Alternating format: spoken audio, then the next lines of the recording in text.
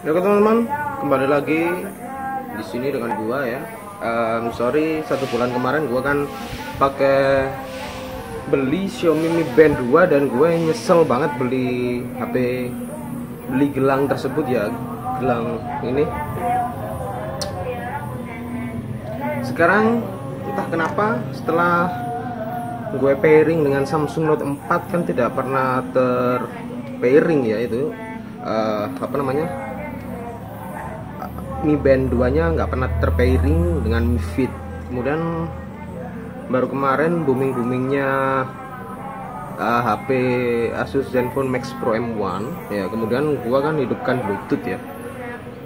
Setelah satu bulan itu gelang Mi Band udah nggak gua apa-apain.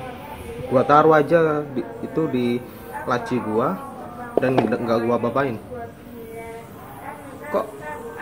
hidupin Bluetooth pakai Asus Zenfone Max Pro M1 kok ada tulisan Mi Band 2 dari situ gue berpikir oh mungkin ini karena HP mungkin karena Samsung Note 4 itu udah out of order jadi kayak kartu luarsa gitu frame firmware-nya buat Mi Band 2 kemudian inisiatif gue download aplikasi Mi Band Mi Fit ya Mi, Mi Fit. Tapi gue ketik aja Mi Band 2 gitu di uh, Play Store.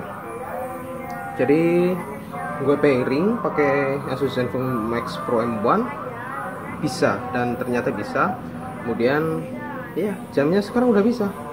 Sekarang dulu yang dulu ya uh, waktu jam gue angkat gini tuh nggak nggak tampil ya.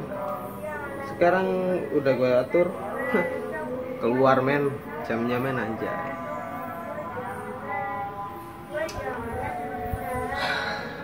Jadi begitu. Ya bisa lah sekarang. Mi Band 2 gua berfungsi work. Dan Mi Band ini adalah uh, gelang anti air ya. Jadi ya anti air ya bukan berarti bisa dibuat untuk nyelam juga ya gagak maksudnya ya waterproof lah gitu. Jadi ya seperti itu. Video singkat Mi Band 2 yang work pairing pakai Asus Zenfone Max Pro M1 ya dan ketika pairing uh, gelang Mi Band kalian akan bergetar dan situ kalian akan tekan tombol tengah ini home dan akan terpairing. Ya dan begitulah. Oke. Okay. then it's work it's work man it's work thank you very much Damn. Damn. Damn.